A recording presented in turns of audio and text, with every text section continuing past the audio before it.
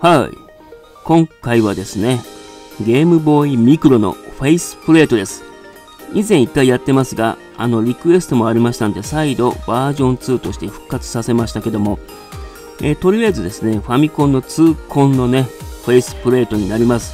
本来はもっとガンガンいろんな種類のフェイスプレートがリリースされる予定だったんですが、残念ながら公式には2枚ですね、2枚だけ日本では出ています。で、こちらはですね、その中でもファミコンカラーというかな、ファミコン痛恨のね、あのフェイスプレートになっています。では開けてみたいと思いますがね、これをね、家宝にしているという方もいらっしゃいましたね。さあ、家宝とは言ってなかったかな。まあ、大事にしてるということです。非常にね、今レアですね。で、あ、もう一台ゲームボーイミクロが入ってるぞと一瞬思ったんですが、これは非動作品になってます。そりゃそうですよね。さすがにミクロをくれません。えー、ただしね、ちゃんとしたこれアルミなんですよね、筐体が。あのー、本物と見間違うぐらいです。まあよくあるのはね、このプレートだけくれるというものだと思うんですが、なんとね、あのモックというんでしょうか。当然動かないんですが、アルミボディのね、あのー筐体付きでプレートをいただくことができました。クラブ任天堂太っ腹ですね。非常に高級感があります。高級感があるというか、そのままミクロの筐体ですね。すごい。アルミの高級感がにじみ出てます。で、痛恨フェイスプレートですね。ちゃんとこうマイクの部分があったりとか、あのデザイン的にはそうなってますが、実際にマイク機能はありません。本物のゲームボーイミクロ上の方に置いてありますというか手で持ってますが あのー、区別が全くつきませんね、まあ、若干モックの方は軽いんですが あのー、触った感じはですね本家のミクロと全く変わりませんね。コネクターとかはありませんが電源スイッチは動きます。かすかに基板のようなものは見えましたね。で、奥にはですね、パッケージの奥には取り外し方と取り付け方が書いてあります。フェイスプレートの取り外し方、取り付け方が書いてありますね。これを参考にちょっとやってみたいと思いますが、えー、っと、出てくるかな？こちらですね。えー、こいつこいつ。これにも、あの、ちゃんと型番がありますね。ゲームボーイミクロ型番がついています。見えるかな？こんな感じでね型番もあります。まあこのねイジェクターっていうのかな？こいつを使ってあのフェイスプレートをまず取り外しますよ。これはクラブ任天堂でいただいたやつなんですがここのね穴が開いてますんでブスッと刺してあげるとプレートがちょっと浮かび上がります。ちょっとね爪切っちゃったばっかりで入らねえな、えー、このようにねグイッと押すとパカッとここに隙間ができますんで爪をね入れてあげると取れます。普通は。うん。ちょっと苦戦。えー、上がってるんですがちょっとねあ取れました。こんな感じでね。よいし。ょ来ましたよ。これが痛恨のねフェイスプレートになります。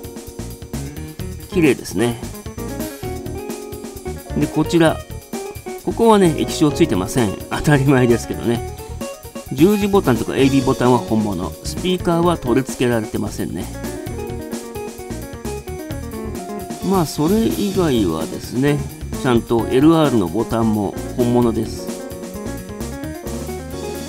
さあ取り替えるためにはあのねこちらはちゃんとした動作品ですけど同じようにね穴があります。のでポチッとグイッと押してあげると浮かび上がります。あこっちは比較的スムーズに通れたかな。はいはい取れましたね。こちらは実機ですね。ご覧のようにつきます。まあこいつをはめます。痛恨フェイスプレートをはめます。まず右側のね爪を本体に入れて爪があるんですよ。ここにね。あついでに型番もあります。見えるかな？ちょっと反射しちゃってね見にくいんですがここに型番がついてますね。で右側面あたりにですね穴が開いてますんでフェイスプレートの爪を入れてあげてあとはね左側をパチンと止めれば完成です。さあ痛恨フェイスプレート。まあパッと見はそんなに違いはないんですがまあじわじわとくる痛恨のフェイスプレート。マイクの模様とかね。あとは痛恨の2というのが一つのポイントになってます。まあ、2台並べてみるとこんな感じになりますよね。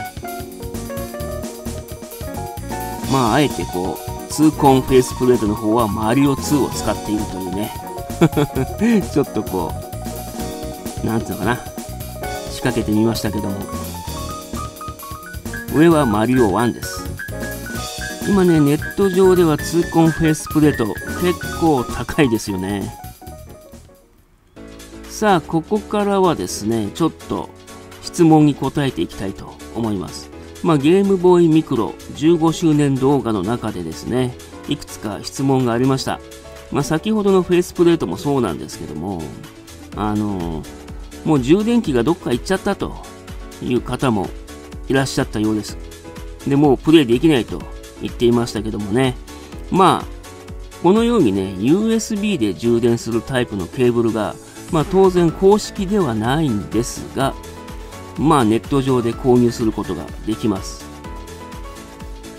で、オフィシャルじゃないんで、どうしてもこう、コネクタ部分がね、ちょっと怖いんですよね。硬めに作ってあるのか、きつめなんで、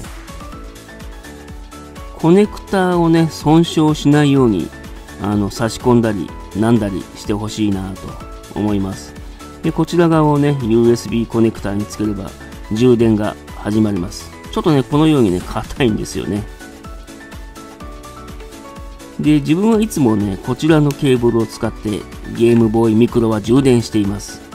まあよくあるオロチケーブルと命名してますけども、あのね、1つの USB ケーブルから4つ、5つに分かれてるケーブルなんですけどね。えー、まあこんな感じで外部電源につないで、えー、この中で言うとこいつかな？ミクロ用はこいつです。えここにプスッと刺します。ちょっと、あ、映りましたね。スタートボタン、セレクトボタンに青色の LED ランプが点灯していますので、今現在充電中の合図になってます。まあこんな感じで普段充電していますね。なんで、AC アダプターなくなっちゃっても、あのね、非公認ながら、ケーブルはね、ネット上でまだまだ売っています。ただね、どうしてもね、安い分、なんでしょう、こう、あの、うーん、品質がね、心配な場合があります。もう一点、もう一個はですね、こう、久しぶりに出したら液晶が半分映ってないぞという方がいらっしゃいました。で、十字ボタンというのかな、方向キーとかボタンとか、あとは音はちゃんと出ていると、音ね、言われていましたので、まあ故障というか、液晶が死んじゃったのかなと、半分ね。ですので、まあ、交換の液晶を用意する必要があります。純正品にこだわるならばもう一台のミクロ。で、一応ね、ネット上では液晶ディスプレイだけ売ってますんでね。まあそちらを購入して交換するっていうのも一つの手かなと思います。はい、いかがだったでしょうか？ゲームボーイミクロ専用のね、フェイスプレート。本当はね、非常にいろんな方がデザインしたフェイスプレートも登場する予定だったんですが、思ったよりもミクロの普及がね、良くなかったため、あの、リリースは見送られたようです。あのまあ、現状日本ではね、このファミコンのね、 IIコンエディションとスーパーロボット大戦かなんかのね、フェイスプレートが別途、プレゼント企画として登場しています。あとはもう本体にくっついちゃっていますんでね。ということは、あとマザー3のプレートとか、あとファイナルファンタジー4だったかな。かなんかのプレートもありますけども、あちらは本体にくっついちゃってるやつですね。あとはポケモンセンター専用でリリースされたあのゲームボーイミクロのね、ポケモンバージョンも一応専用のフェイスプレートがついています。まあこのね、フェイスプレート企画はですよ、後のニューニンテンドー 3DS 用にね、着せ替えプレートなんてのが出ましたけども、そちらにね、持ち越しになったと思います。ではまた。